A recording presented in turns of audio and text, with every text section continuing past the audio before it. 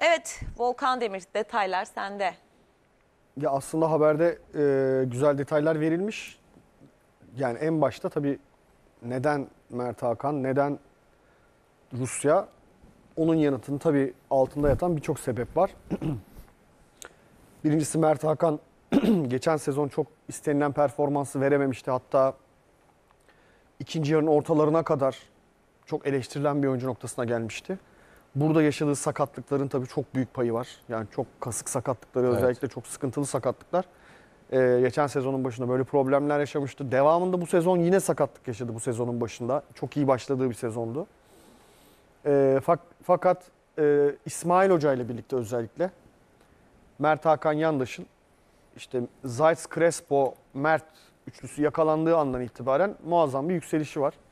İstatistiklere zaten bu yansıdı ki takımın da performansına yansıdı. Ligde Fenerbahçe ikinci sırayı neredeyse garantiledi şu anda. Çok kötü giden bir dönemin ardından.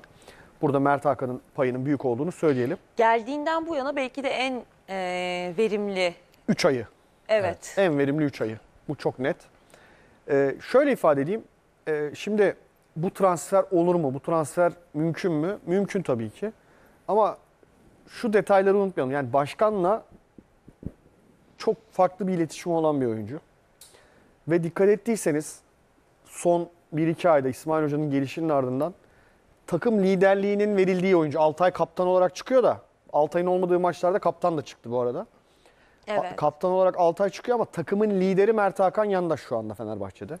Örnek veriyorum maç başlamadan önce hani böyle toplanırlar ya ortada bir yuvarlak oluşturulur işte galibiyet sözü verilir filan. Orada mesela takımı toplayan oyuncudur Mert Hı. Hakan. Dikkatlerden kaçar bu genelde ama Çok konuşan. bunlar bunlar önemlidir ve bunu teknik heyet bizzat kendisine söylemiştir. Yani bunu yapacak adam sensin bu takımda.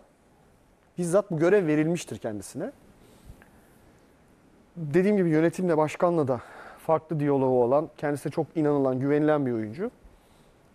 Fenerbahçe'de çok mutlu. Onu da söyleyeyim. O yüzden biraz hani tok satıcı mı derler? Tok satıcı konumunda şu anda. Hem Fenerbahçe hem Mert Hakan Yandaş. Şimdi mesela ben şöyle haberler okudum. Ali Ko- e, CSKA Moskova Fenerbahçe'ye fiyatını soracak. Şimdi Fenerbahçe'ye fiyatını sorarsan Ali Koç çok tecrübeli bir iş adamı. Yani e, fiyatını sorarsan der ki satılık değil. Bir fiyat söylemen lazım ki Ali Koç da pazarlığa otur. Şu anda e, Fenerbahçe'ye bir fiyat söylenmedi. Fiyat söylenmediği için de ben bu transferi çok olası görmüyorum. Bir hafta sonra CSK der ki tamam biz Mert Hakan'a işte haberde geçtiği gibi 7 milyon euro veriyoruz. O zaman pazarlık olabilir işte. Ali Koç Mert Hakan'a der ki gitmek istiyor musun? Mert Hakan onayı olursa ona göre bir pazarlığa oturulur, konuşulur. Ee, yani 7 milyon euro bence de şu anki piyasaya baktığında Mert Hakan için e, normal bir fiyat gibi duruyor. Bununla birlikte ben yani kişisel olarak çok sevdiğim bir oyuncudur. Yani ben çok beğeniyorum oyun, oyun tarzını. Ee, Mert Hakan'ın yerinde olsam gider miyim? Bu da bence önemli. Yani çünkü her şey para değil futbolcu için. Futbol, futbolcu parayı Fenerbahçe'de de kazanıyor veya işte bu Fenerbahçe'den sonra gideceği kulüpte de kazanıyor. O çok her şey para değil. Ee, örnek mesela Rus kulüpleri gelecek yıl Avrupa'da olmayacak. Evet. Bence bu bir handikap. Yani Rusya'ya gidip de Tercih edilen bir yer olmaktan uzak tutuyor. Rusya'ya gidip de Rusya'yı. mutlu olan Türk oyuncu hatırlamıyorum. Bir Gökdeniz, Gökdeniz. bir Gökdeniz var. O da Evet. yani hakikaten Rubin Kazan'ın şeyi oldu, efsanesi, Efsanesi oldu. oldu, aynen. yani. Ee, bir Gökdeniz var. Çok da giden de yok Caner da. var, CSK. Ee, Fatih Tekke var hatırladığım kadarıyla. Ama Bir ara Gökdeniz Gökhan Töre Rubin Gökhan Rubin Kazan'a gitmişti.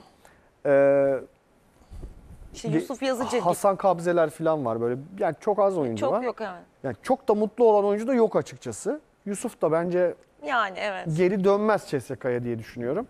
Hele ki Avrupa piyasasında yoksan takım olarak Tabii. bu e, bir oyuncu için direkt hani eleme sebebi o takımı. Çok olası mı? Değil bence transfer ama dediğim gibi çok iyi bir fiyat gelirse CSK'dan o zaman farklı şeyler konuşulabilir. Ve bu arada Mert Hakan'ın Türk pasaportu bulunması Fenerbahçe açısından farklı anlamlar taşıyor. Hem verim aldığın oyuncu hem Türk yani. Hem de yabancı kontenjanı doldurma. Yani Evet. şimdi Mert Hakan'ın ikamesi kim olacak? Bunun yanıtını da bulmak lazım. Mert Hakan'ı gönderdik. 7 artı 4 var. E oraya İrfan. Bence aynı Or- bence aynı vermez. tarz değil. Vermez zaten o performans alamazsın. Yani Crespo ile Zayt'ın işini çok kolaylaştırıyor Mert. O çok göz ardı ediliyor. Yani Mert evet 10 numara pozisyonunda ama 8'leşebilen bir ondan Evet. bahsediyoruz. Ama bu arada sadece CSKA Moskova'nın teklifi yok. Çünkü Bak- İtalyan takımlarının özellikle e, daha önceden Sivas Spor'dan da ilgisi vardı Mert Hakan Yandaş'a. Yani İtalya'dan da teklif alan bir oyuncu onu söyleyebilirim. Bu arada başka Rus takımları da var. Onu da ekleyelim. Ben İtalya'dan ama mesela özellikle Torino söyleniyor. Torino'nun çok alabileceğini zannetmiyorum. Torino Mert Hakan. ama Sivas'tan bu yana ilgileniyor Mert Hakan Evet ama çok al- şu an artık Mert Hakan'ı Mert Hakan daha pahalı bir oyuncu. Ama bir, Perey- birkaç kulüp aklıma daha var. Pereira geliyor şimdi yani bu kadar bu oyuncuyu kesti o süreçte. Yok o o o e, illüzyon. O şöyle illüzyon. Mert Hakan sürecin başında Pereira'nın çok sıklıkla oynattığı bir isimdi. Evet sonradan. Ama Mert Hakan sakatlandı. Yani burada bunlar insanlar göz ardı ediyor. Hani maç sayısına bakıp konuşuyor. Ee, Mert Hakan sezon başında Ama kadroya alım yani oynatmadığı da bir süre Yedek oldu. kulübesinde Doğru, doğru. beklediği Doğru yedek kulübesine oturduğu dönemler de oldu. Doğru. Genel bir memnuniyetsizliği de vardı zaten ama yani yaşadığı sakatlıklar da aslında sezon başındaki performansını biraz geriye götürdü. Yani tabii performansa Ama göre geri planda kaldı. Orada hani şu vardı. Mert Hakan oyuna girdikten sonra mesela o 60'larda 65'lerde veya 46'da oyuna girdikten sonra diyorsun ki o dönem Pereira'yı niye oynatmıyorsun bu adamı? Bu adam bir 45 daha oynar. Onu gösteriyordu Mert Hakan Evet. Yandaş bize.